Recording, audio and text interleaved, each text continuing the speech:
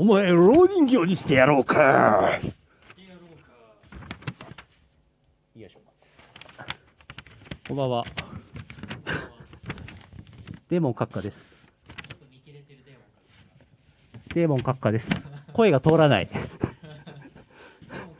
声が声がマイクに入らない入らないし、前が見づらいし、見切れてる見切れてる。今日は黒ミサを、黒ミサを、黒ミサをやってやる。今日はクリスマスイブですから。マジで？はい。はいはいこんばんは入った邪魔これ。あ 邪魔っちゃいけない見切れてる今日はクリスマスイブですからね。黒ミサを取り行いたいと思います。それじゃないです。あ、それです。これね、ちょっとお面作ったんですけど、思ったより良かった。もともとこのデーモン閣下って、お面のような顔をしてるってことが分かりましたよ。間違っちゃいない。雑なお面ね。この、このね、この感じね。穴が2つしかない。穴、穴開けて、輪っかつけただけっていう。でもこれ斬新だね。なんかあのー溶接工の人がしてるあれみたい。あれみたい。あの防御シールド。さあ、今日はね黒ミサだからね暗いんです、今日は黒ミサですから、そうなんと、黒ミサですからなんと幼女の血をねこれから飲むわけです幼女の血お願いしまはいす。あもう早速い、やー、クリスマスですね。クリスマスですよ今日はね、あのー世紀末悪魔の逆襲っていうゲームをやるんですけど、なんとこの中で、ゼウスを倒しに行きます。ゼウスゼウスを倒します。ゼウスを倒すゼウスを倒し、大黒ミサかっこコンサートを開きます。いや今日、あ今日はあのちょっと延長しとこうと思ってるんですけど、はいエンディングで黒ミサが行われますから、これでね、あのーなんでしょう、巷では、ツイッター上ではな、あのークリスマス爆発しろとか、リア充爆発しろとかいろいろ言ってますけども、黒ミサで留飲を下してもらおうと思っております。安全な方法でね。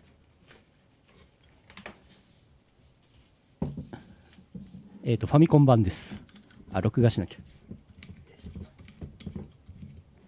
はいどうぞワイン。やったワインじゃなかった幼女の血幼女の血です。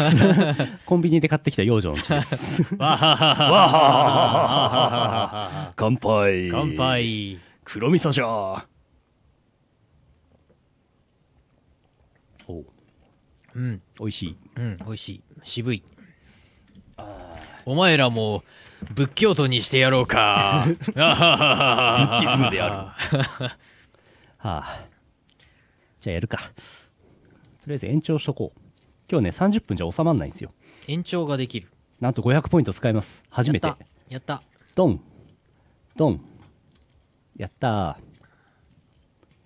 蓋が閉まらない蓋を閉まらなくしてやろうか。う わ飲み切るしかない なんか俺あれだね使い魔みたいだね なんかこれああ、なるほど。これなんかあの片やこれで。うんあのデーモンデーモン閣下のなんかしもべしもべ A みたいな感じ前が見えない。じゃあやります。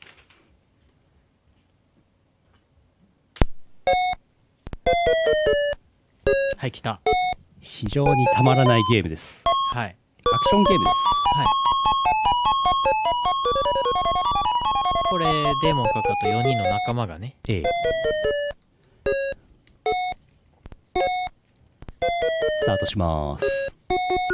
非常にこのゲームですね、ジャンプに癖がありましてですね、はい。ジャンプするとなぜか水平移動が速くなるとか、なんかモアイが飛んでます。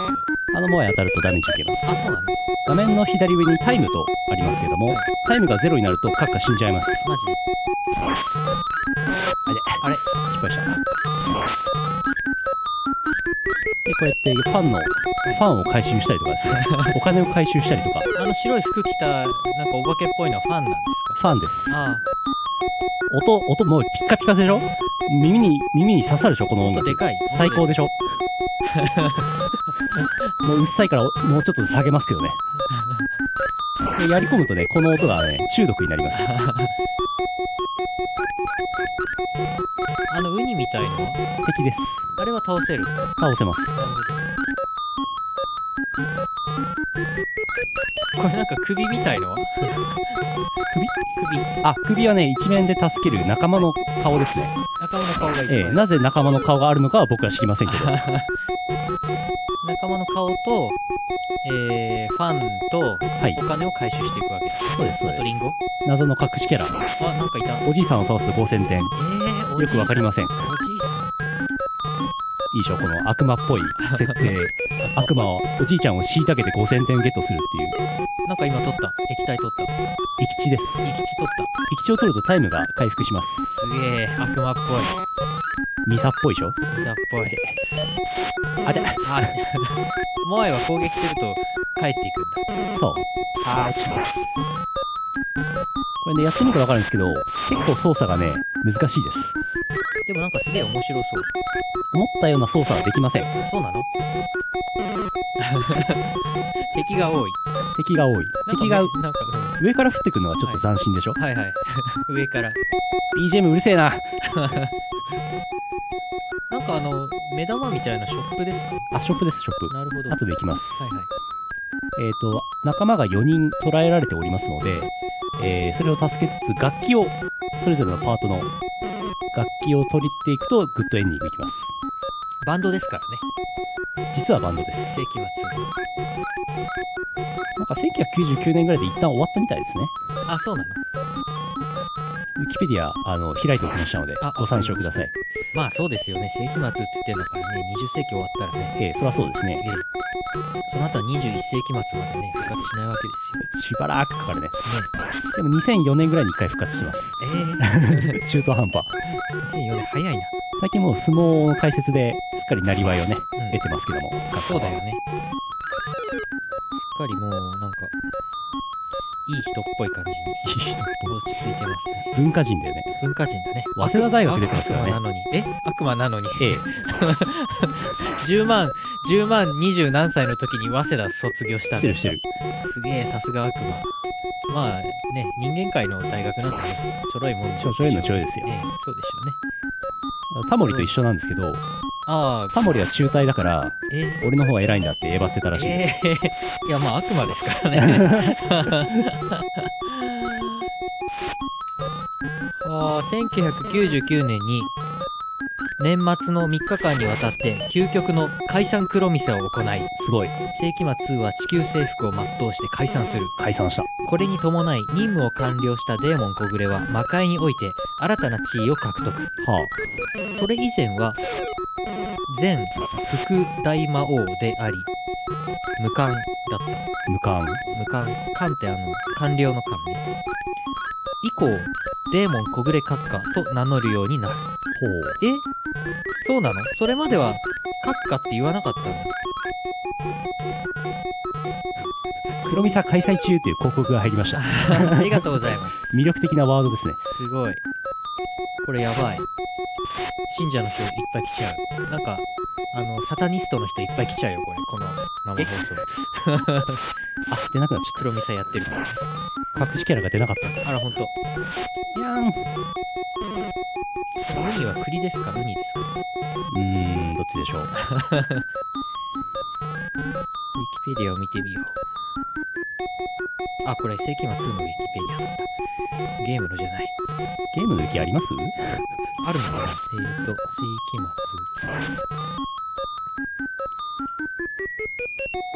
いや、この BGM がひたすら同じフレーズ繰り返すのやばいね。洗脳的なあれです、きっと。洗脳、黒ミサ的に洗脳されて、なんか、トランス状態に陥るわけです。そうそう。えーと、うーん。ない。見つからない。ないかもしれません。ないかもしれないね、ウィキペそこそこ売れたと思うんですけど、そんなに素晴らしいゲームじゃないので。あ、ちなみに28年前の今日発売です。マジで ?12 月24日発売だったの？ええ。やっぱりクリスマスイブなんで、そうなの？意識してたんでしょう。ショップです。そういうこと？ショップ。えー、イキチと、ナイフ武器と楽器が買えます。ほうお前も老人形にしてやろうって書いてありましたね、今ね。あれ、閣下からのお言葉です。しかもなんか今物買うときにファンファンとかお金とかファンをなんか引き換えに物購入してます。よお金です、お金。お金だ。世の中金です。なんか金。あウィキペディアあった。世紀末悪魔の逆襲。すごいね。若干若干スター・ウォーズのサブタイトル感があるそ、そうですね。若干ファミコン版1986年12月24日発売。MSX2 版1987年。出てたんだ。知らなかった。ストーリー。地球征服のために布教活動を行っていた世紀末2はその活動の一環としてファミコンの世界へやってきた。はところがファミコンの世界で大黒ミサを開こうとしていた世紀末2は宿敵である神ゼウスの妨害にあって悪魔経典を奪われてしまいあ。は さらにデーモン以外の仲間たちがゼウスに捕らえられてしまうデーモンは大黒ミサを開催するため捕らえられた仲間の救出と悪魔経典の奪還に向かうのだったということで。やっております。あのーその後キャラクター紹介があってウィキペディアは終わってますねすごいすごい短い印刷したら A41 枚に収まるウィキペディア そうでしょう。すごい。敵キャラの名前がわからない。ゼウス、一からゼウスしか載ってない。1から7面をクリアすると8面に来れるようになって、8面の全てのアイテムを取ると、棺を開けることができます。棺。で棺の最後に開けた棺から鍵が出てきますので、鍵を取ると、えーこのゾーンがクリアです。なるほど。危ね。これ、仲間ですね。誰かこれね、えーっと、なえーとね、えー、一人目はね、えーとね、エース清水。エース清水。あ、え？違うか。あ、違う。ジェイル大橋。ジェイル大橋。ギター担当です。結構どっちでもよかった。どっちでもごめんなさい、どちらでもよかった。2面は急にね、なんかヘブン的な感じになりま、す。なんか、なんか幸せ感あふれる。やばいでしょ。いいね、これ。薬決まってるでしょトリ。ックしちゃう。負けじとワインを飲みますけど。今回全アイテムを回収しようと思っております。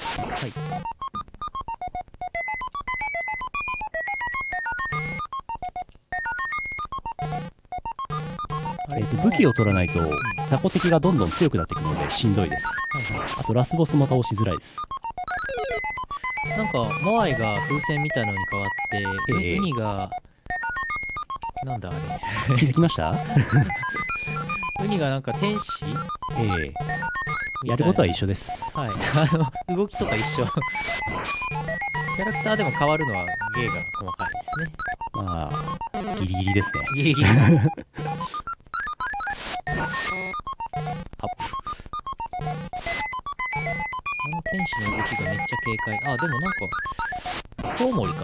紫色のはウォンバットかな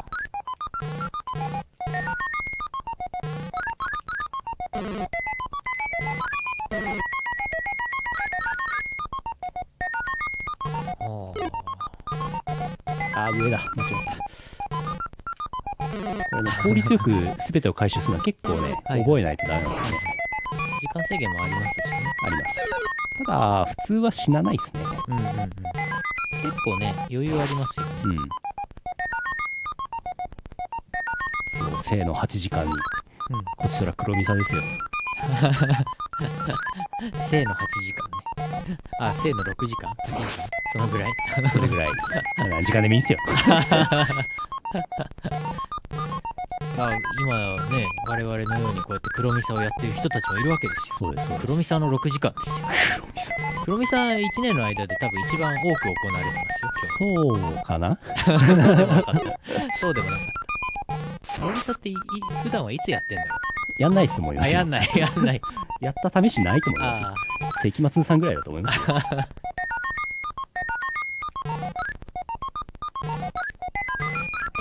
やること一緒ですからね。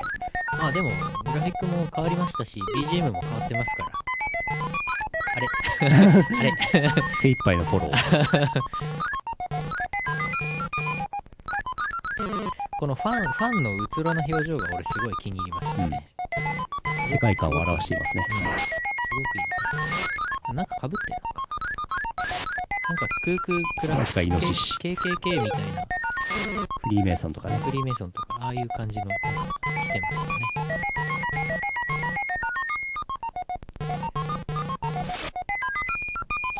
れがえーと今ライデン湯沢を助けに行ってますが。すごいな。というかあの世紀末2のメンバーの名前俺初めて知りました。俺も閣下しか知らない、はい。でも小暮閣下しか知らなかった。まあそんなもんですよね皆さんね。もうやっぱりい生放送やりながらだと難しいな。わかります。結構練習したんだけど。うん。あわかりますじゃなかった わからないわからないね。あのー別な生放送の話なんで恐縮なんですけど、ヌルポ放送局でロリガミ様っていうキャラやってるんですけど、やってるんです。やってなりわいとしてるんですけど。なりわいなんですけど、わかりますってよく言うんですけどね。じゃあ、それに対して今日は悪魔だから、ロリ悪魔様だから、うんうん。わかりますなんてことは言わない。わからないね。っていうキャラにしたいな。模索してるのね。そうじゃなかったっけ？違うな。えーっとダメだ。もう分かんなくなってきた。えーっと。あ、社長、ロリ神様の、あ、そうだ、言っちゃいけない。よ。秘密だった。やべ。明日のヌルヌルポで、秘密だよって言わない。秘密だよ。ああここでした。この5は、えっ、と、ポイントですか？5ドルですね ?5 ドルですか？金です金。結構普通にやってるとお金足りなくなりがちなんであーあ、結構、結構ありますね。各ステージに何がしかあります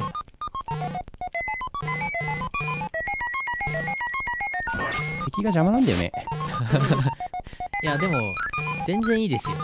敵にちょっと触れただけでもうゲームオーバーとかじゃないですもん。そうだね失敗した全然いいですよ。ああ、登んないといけない系ですね、これ。ええ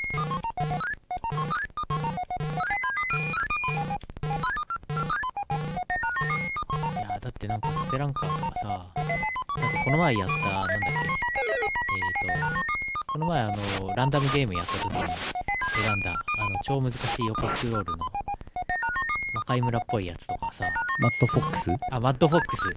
すぐ死ぬじゃん、あれ。弱すぎるよねそう、あれはね、やっぱり、ある程度、プレイヤーキャラが頑丈な方がゲームは面白い。無敵でもつまんないけど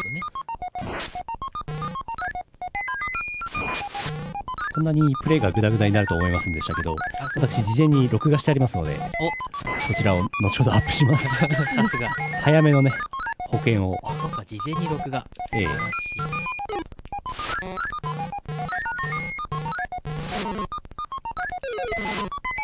当たり判定がよくわかんないんだよねうん、なんか当たったりすり抜けたりします。ジャンプしてる間はなんか、意外、おう、イノシシ。あれ？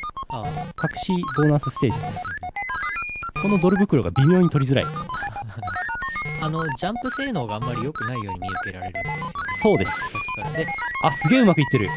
こんなうまく取れないもん。パーフェクト。初めいやて。いやいやいや、いやいや、あ、あの3個ずつ取っていく。3個ずちょっと興奮しました。さあ皆さんついてきてますか？つ。もう皆さんね、半分ぐらい寝てると思いますもんね。この単調な BGM と単調なステージでね。そそろそろこれ次のステージにそうですね。とね、あの、もうちょいですよ。はい、皆さん今もう。目目覚めがね。8面ですからもうん。う8面にだけね門番がいてですね。うん。門番がやや強いです。おう。ただ背後から3発と死にますので、えーさほどでもないです、はい。あいつですね。ああ。めっちゃ、めっちゃビヨーっと攻撃。おーあれねあれサークル食らうと結構食らいますねあそんぐらいですあ。でもこれちょっとやそっとでゲームオーバーじゃない弱いそう倒した。そう、エルシャダイ。エルシャダイはね、今度やりますから、皆さん。お楽しみ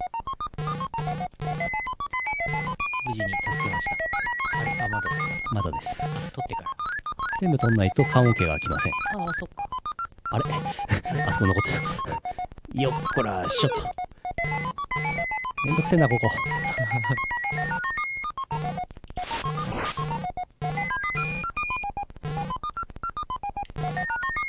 るほど。うまいことやってください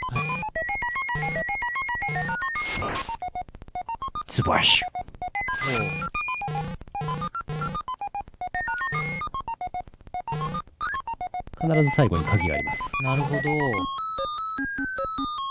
った。2人目助けました。全4面構成で1人ずつね助けますけど。はいはい。これ3人で歩いていくのかわいいですね。さあドラムスのライデンユーザーも無事助けました。やったね。やったね。次は次はベースのゼノン石川を。あまたキャラが敵キャラが変わった。グラフィックが変わった。エジプトエジプトっぽい。すごいなんか敵の動きも縦方向に変わった。モアイ風船ときてなんだろう。緑色のイガグリ。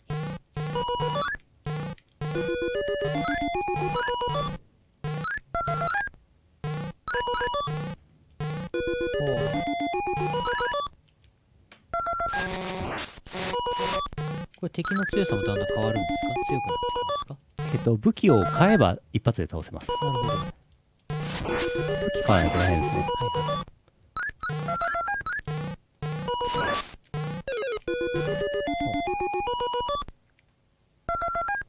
もやっとボールか。もやっとボール。もやっともやっいえ。と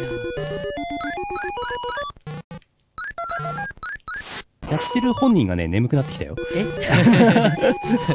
トリップしてしまう。ええこれ見てる方は余計。見てる方は余計眠いんじゃないか。そういう説もあります、あんまりねあのハラハラしたりヒヤッとしないあ死ぬ死ぬ死んじゃうとかないゲームだからあ安心して見てられるとだんだん眠くなる。こーのこんなところに隠しキャラがっていうほどじゃないしね。大した仕掛けじゃないからね。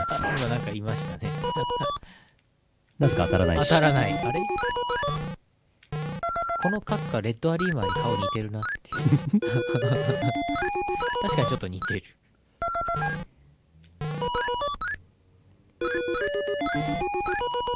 やったことある人は結構いい動きしてんなって思っていただけてると思います。あやったことない人は別に何とも思ってないと思います。あ無感動。違った面の構成を覚えておかないと結構うろうろすることになりますね、はいはいはい。その辺がちょっとパズルじゃないや。まあやり込みといえば聞こえはいいですがええ。ええそんな大した話じゃない。ちなみに敵を8体連続で倒すと5ドル出てきます。ほ78体目が5ドルになるはず。なかなかうまくいきません。う連続で倒す同じ種類をですか？えーとなんとなく連続で。ざっくりしてます。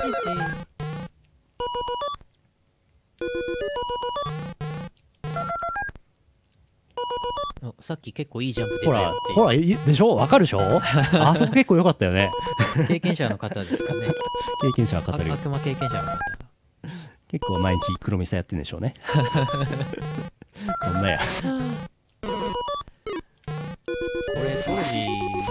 売された時少年たちはこれを夜な夜なやったんですかね。なんだと思ってるんですかね。ええ。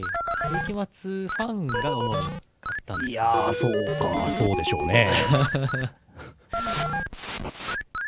結構あのキャラゲー出たじゃないですか、はいはいファミコンとかスーファミもまあいろいろ今までいろいろ出てますけど。だからきっとあれだろうね高橋名人の冒険島と同じノリなんだろうな開発コンセプトとしては、んまあキャラものでアクションゲームでうんうん。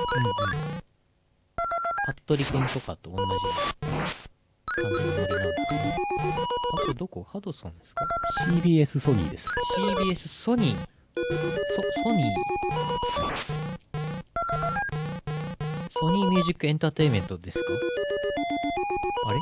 まあ当時そういう 会社があったかどうかはちょっと難しいですけど、はいはいああ。あ、TM ネットワークのゲームあったの？あったっけ？あったんですか？あ、プリンセスいっぱいありましたね。ああそれはいいや 田代さんノーサンキューだわ。あ、ああ。あの人もね、いろいろトリップしてしまいましたけども。いろんなトリップをね、はい。してましたけど。してましたね。普通に住んで生きてたらね、行かないようなところですね。うん。2、3回行ってましたからね。TM ネットワーク、ライブインパワーボール。とは、1800あ1989年12月22日にエピックソニーから発売されたゲームソフトでちょっとこの面の隠し面、行くの忘れちゃいましたけど、もう省略しますね。はい。ちょっともう飽きてきましたんで、う 後で録画でっかりしました。残すんですね、あそこに。なんか、エピックソニーさんとか、なんか CBS ソニーさんとか、ソニー四天王が当時はいろいろゲームを出していたんですね。まあ、いろんなとこが出してましたね。そうですね。猫も杓子もファミコンゲームで出していたわけだ。光源氏。なんかあったね。ガルゲンジャーあった気がする。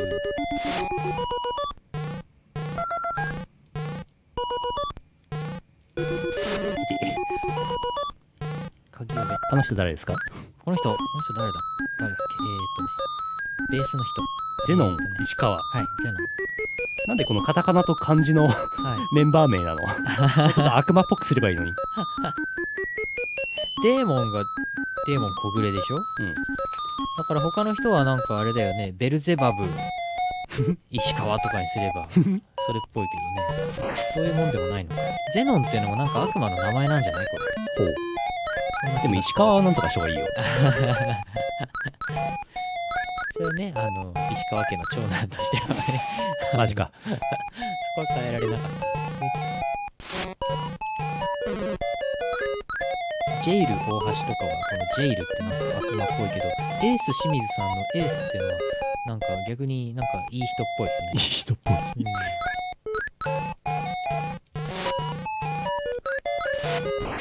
あ、カッカもね、小暮さんですからね。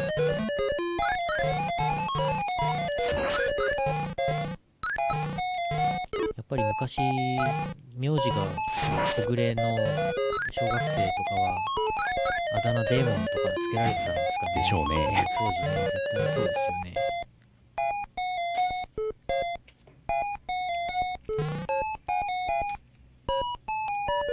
ジェイルってそう、牢獄って意味だよね。うん。そういう方向からつけたのかな？まあ、ビジュアル系バンドの元祖としてね。ああ。そういえば。昔は NHK 出れなかったらしいですね。閣下。え？危ないから。え？やっぱり悪魔だから。うん。今だったらもう、全然。相撲中継で。相撲中継。我が輩は、大相撲の問題に対処する専門家ではないっていうコメントをわざわざ出したらしいですけど。まあ、すっかりなんかね、頼ら頼られてる感ありますからね。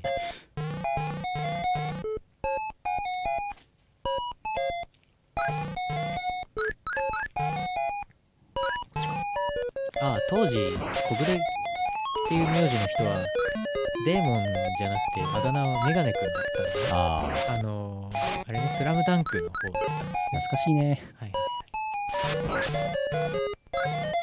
赤木、赤木くんはゴリって言われてたんでしょうね、じゃあね。今だったら赤木だったらね、カンコレの方ですけどね。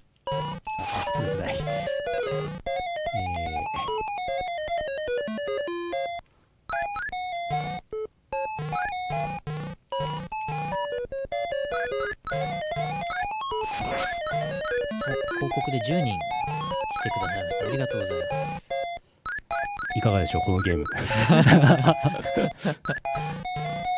もう終盤ですよ。あ、本当に？なんかもうすっかりおどろ、おどろしい感じになってますよ。画面が。まあ、悪魔ですからね。ええこのドクロといい背景のなんかツタのような上から垂れた植物といいよく見るとちょっとキモい広告効果で10人が黒みさんに参加新しいね。その後あっという間に帰った可能性。そうでしょうね。いいいジャンプ出たよ。今のはダメです。えダメなの？横にシュパーって飛んだよ。あれはそうでもない。そうでもないジャンプでした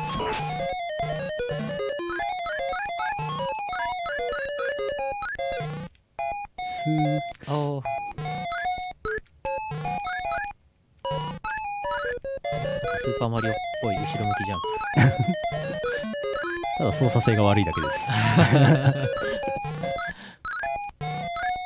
まあ大体こうやって残ることが多い。です、うん。でも帰りに取れば。いい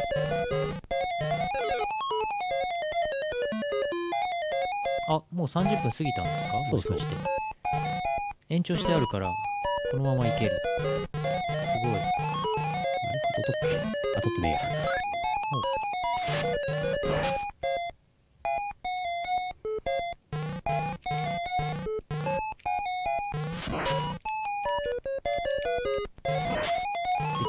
じゃ。ー登れないんじゃ。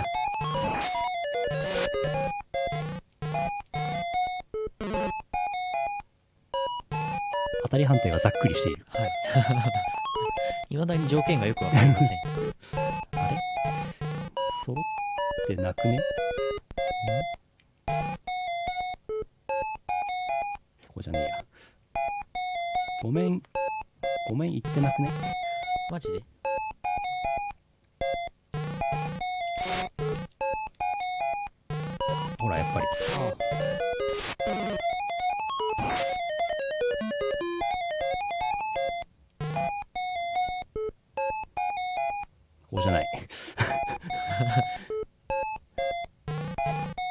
ね嫁になると難しいね。マップ構成が複雑に。こう。ごめんここですね。あー。あなんか文字が書いてあります。本当だ。CBS PS ひょっとして？そう。になるほど。はあ。はあとしか感想が出ませんが。いやー当時よくみんなやってましたよね。文字入れてましたよねえーこんなにあからさまなのはないですけどね。こんな下手くそなのはないですけどね。いやいやいやいや。あれですよ。エルギーザの封印でコナミさんも書いてました。よ コナミ。コナミ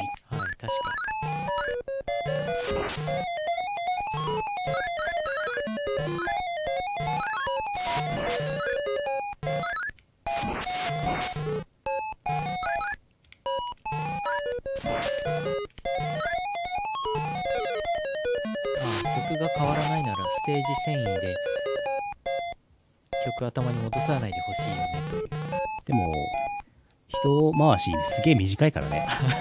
そんなに。確かに短い気がする。さあいよいよです。はい。皆さんお待ちかねの黒みさんの時間が近づいてまいりましたよ。マジで4面のボスです、ボスボスっていうほど強くないんだよねこいつね。あとね当たってもダメージ受けない。なのであっという間にあっという間に倒せます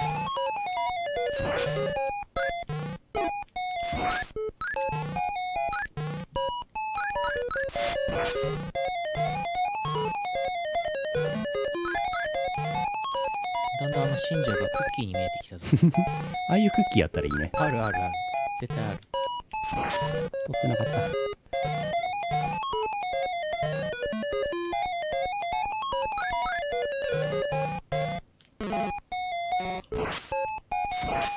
やばい。やばい。すごく自然にあくびが出でしょ？わかる。た やばいそんなゲームなかなかないよ。小林製薬の S 端子であんまりあくび出ることはないんですけど。そうだね。あんまないね。あんまないけど出ちゃった。やばいな。最後の鍵です。はい。取りました。お酒飲んでるからかな。感動のラストシーンあるよ。マジで。てかその前にラスボスがいるよ。そうだそうだ。ラスボスのゼウスさん。がさあ4人目のメンバー助けました。えエース清水。エース清水ロッテの人かな？ロッテマリーンズの人かな？ロッテマリーンズかな。さあゼウスゾーンです。さあラスボスなんですが非常に弱いです。マジで。あーゼウスゼウス来た。あー。ちょっとジャンプして撃てば必ず当たります。なんかさっきの中ボスたちと攻撃が一緒だ。そうです。でかくなってる。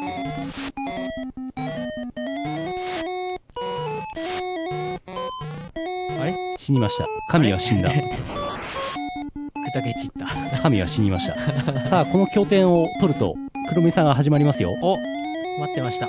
ドン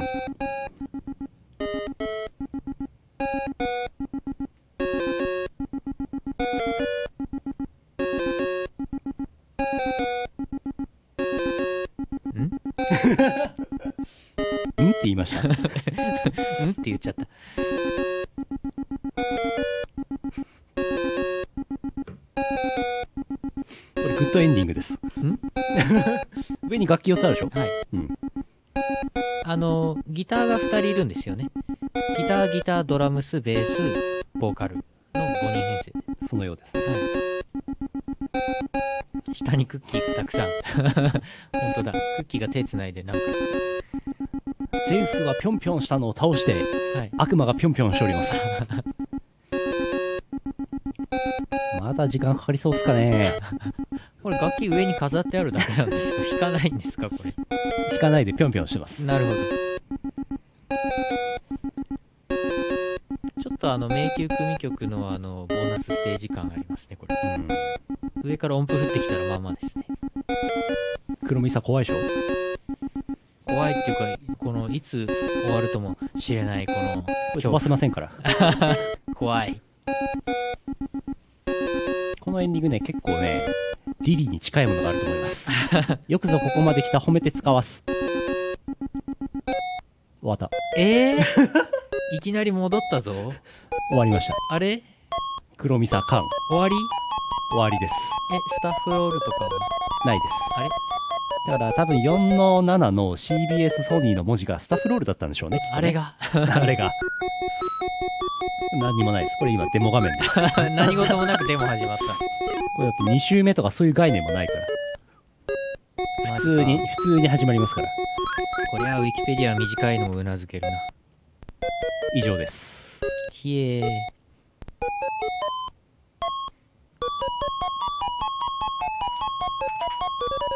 ちなみに。ウィキペディアにはちょっとだけ続きがあったのじゃ怖い。怖い。いきなり出ると怖い。ああさてと。ちなみにウィキペディアの記事によるとええ。